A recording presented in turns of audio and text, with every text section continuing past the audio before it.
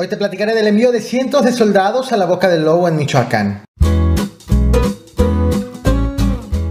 Después de que el presidente de la República, Andrés Manuel López Obrador, calificó como actos propagandísticos la quema de oxos y vehículos, los enfrentamientos y las extorsiones a limoneros en Michoacán, la Secretaría de la Defensa Nacional decidió enviar a cientos de soldados a Tierra Caliente, donde actualmente cuatro cárteles disputan el control de la zona para hacerse del trasiego de sustancias prohibidas y el monopolio de las extorsiones al sector agrario. En este video te platicaré del operativo desplegado en Tierra Caliente, Michoacán, en municipios como Apatzingán y Uruapan, donde hay un fuerte enfrentamiento entre grupos delictivos. Bienvenidos al Caporal del 29 de agosto, comenzamos.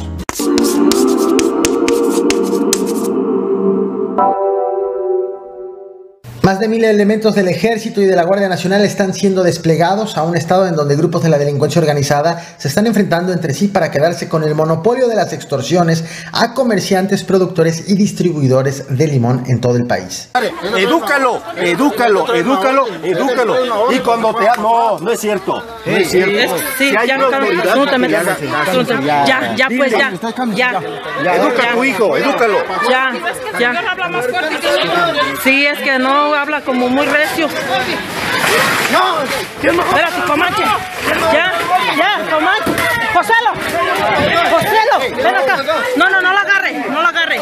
Esto que acabas de ver es parte del ánimo que se está viviendo en el estado de Michoacán. Este video corresponde a un hecho registrado el pasado domingo 27 de agosto en Tancítaro, Michoacán, y es a ese estado en donde la Secretaría de la Defensa Nacional ha decidido enviar en las últimas horas a cientos de elementos más del ejército mexicano y de la Guardia Nacional.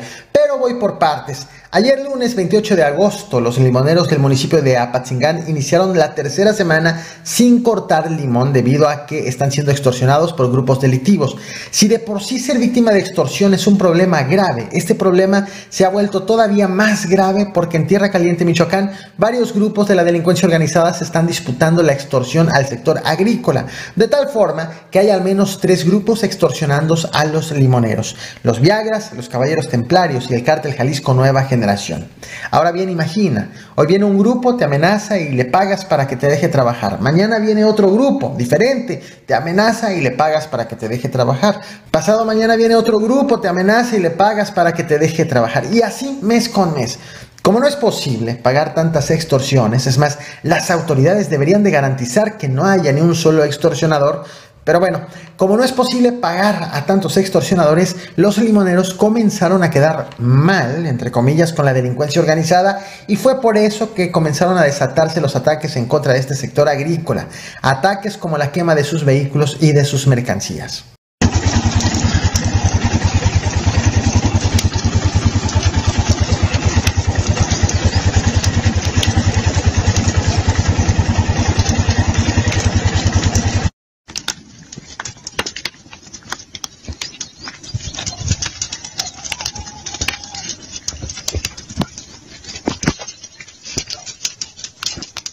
Este video que acabas de ver es de un hecho ocurrido el pasado 18 de agosto. De hecho, a este canal te traje este video en donde te detallé de varias agresiones en contra de limoneros reportados en lo que va de este mes. Pues resulta que para no ser víctimas de un triple cobro de extorsión, varios limoneros acordaron hacer un paro hasta que la autoridad les garantice que pueden trabajar en paz. Los que iniciaron temprano con este paro cumplieron ayer tres semanas con él pero no solamente han parado los involucrados en este sector agrícola, sino que recientemente también han parado labores el transporte público y los establecimientos OXOS, debido a que el problema de la violencia hacia los limoneros ha derivado en diversos disturbios en donde han alcanzado estos negocios. Los delincuentes han incendiado dos OXOS el pasado 27 de agosto, uno en Apatzingán, otro, eh, este que verás a continuación, en Uruapan.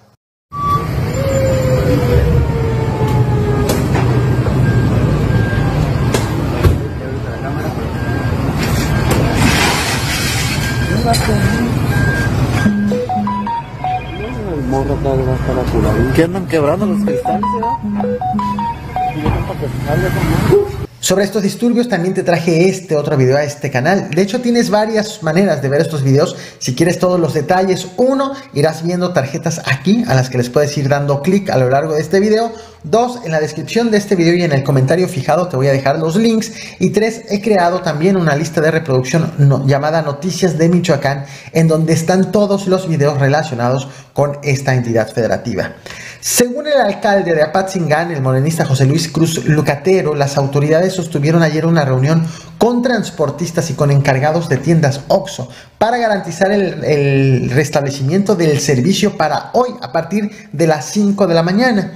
Según cálculos de la prensa local y, de, testimonios de personas involucradas en este sector agrícola, antes pagaban 10 centavos por kilo de limón y actualmente la delincuencia les está cobrando 2 pesos por kilo. Y también se ha visto zonas eh, completamente en paro, pero también han eh, habido zonas en donde continúan laborando presumiblemente porque han cedido a las extorsiones lugares como Mújica, Parácuaro y Buenavista.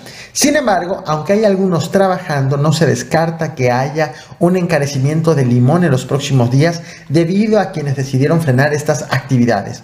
De hecho, estás viendo en pantalla fotografías de la entrega de despensas en Apatzingán a familias cuyo sustento es la producción, distribución y venta de limón que tienen hasta tres semanas en paro y en consecuencia están sin ingresos.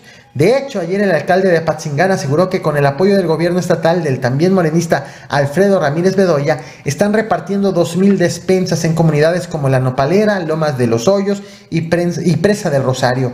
Sobre todos estos hechos, el presidente de la República, Andrés Manuel López Obrador, se pronunció ayer, lunes 28 de agosto, cuando aseguró que debido a que no han habido muertos, principalmente por los disturbios del pasado domingo en varios municipios del estado, consideró que estos hechos son principalmente propaganda. Bueno, lo de Michoacán ya se está atendiendo.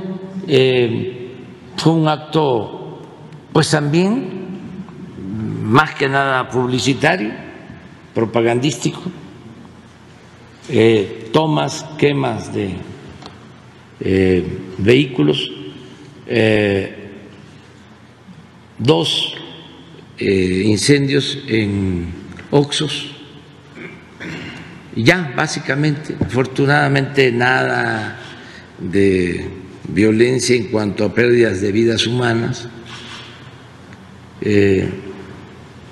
hay algunos detenidos, intervino eh, la Guardia Nacional. También tras los disturbios, el gobernador se pronunció asegurando que Michoacán tuvo un buen fin de semana en cuanto a homicidios y minimizó la existencia de disturbios, asegurando que dio indicaciones a las fuerzas de seguridad para que recuperen la, la, recuperen la seguridad y coincidió con el discurso hecho en Palacio Nacional de actos propagandísticos. Estamos actuando, cero impunidad. Por eso hay que decirlo que esto provoca reacciones de estos grupos delictivos que pretenden confundir a la sociedad, generar inquietud para que dejemos de perseguirlos, dejemos de actuar. Pero eso no va a... Ahora bien, ¿por qué se ha incrementado la violencia en Michoacán? Para empezar, el problema de las extorsiones no es nuevo, está eh, desde hace varias décadas existiendo y se incrementó luego de que el gobierno de Enrique Peña Nieto reforzó a los grupos de autodefensa que aparecieron para hacer frente a los caballeros templarios. El problema fue que esos grupos de autodefensa fueron infiltrados por la delincuencia organizada misma y se convirtieron en grupos delictivos protegidos por el gobierno federal. Es por ello que fueron severamente cuestionados muchos de sus líderes como Juan José Farías, el abuelo, Miguel Ángel Gallegos, Migueladas y Nicolás Sierra, alias El Gordo, quien por cierto, este último es el líder de los Viagra según las autoridades. Recientemente, ya en este gobierno de Andrés Manuel López Obrador, el grupo llamado Cárteles Unidos, que está integrado por varios grupos delictivos, se ha dividido. Los Viagras se separaron de los caballeros templarios y de la familia michoacana y ahora se ha aliado con el grupo rival, el cártel Jalisco Nueva Generación. Derivado de esta ruptura es que Apatzingán y sus alrededores están sumidos en una ola de enfrentamientos, porque estos grupos se pelean la zona para el control del narcotráfico y para la extorsión a limoneros, pero también para extorsionar a aguacateros.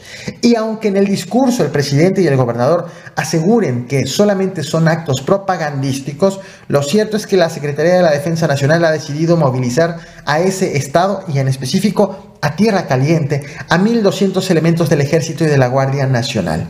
Estás viendo en pantalla estos elementos enviados a tierra caliente para reforzar los patrullajes. La Sedena informó que este despliegue obedece a la violencia que ha habido en los últimos días específicamente en Apatzingán, en Buenavista y en Uruapan, y que van con el objetivo de ubicar a los delincuentes, inhibir las actividades delictivas y garantizar la libertad del orden y la paz pública, apoyados de inteligencia, de un amplio despliegue de elementos, de armamento, de material y de equipo y adiestramiento, y coordinados también con las autoridades estatales y municipales. Todo esto ocurre a la par que en algunos lugares de Michoacán, como en Tancítaro, hay desconfianza desde los pobladores hacia el ejército mismo y también pesan acusaciones en contra de los habitantes de presunta protección a delincuentes. El pasado domingo 27 de abril, por ejemplo, elementos del ejército marcaron el alto a una camioneta, pero su conductor no se detuvo y se metió a un predio. Bueno, hasta el predio se metieron los soldados sin orden de juez lo cual desencadenó una molestia y una protesta de los habitantes de la zona en contra de los soldados, hasta que finalmente los habitantes lograron echar a los militares del lugar en medio de gritos, golpes y jaloneos. Esto es parte de lo que se vive en Michoacán, refleja también parte del ánimo que hay en la entidad. Te muestro el video. No olvides reventar el botón de like, compartir y suscribirte. Muchas gracias. Ya,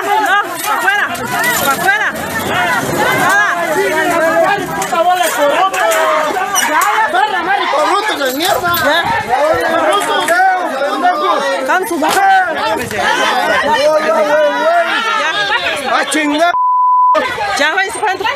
Váyanse para adentro. Váyanse para adentro. Ya, pues, ya, pues. Ya.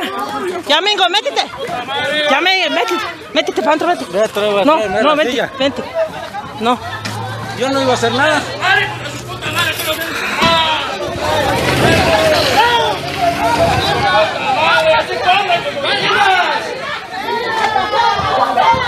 Fiela se desmayó. Alcohol, alcohol, corre. Se desmayó.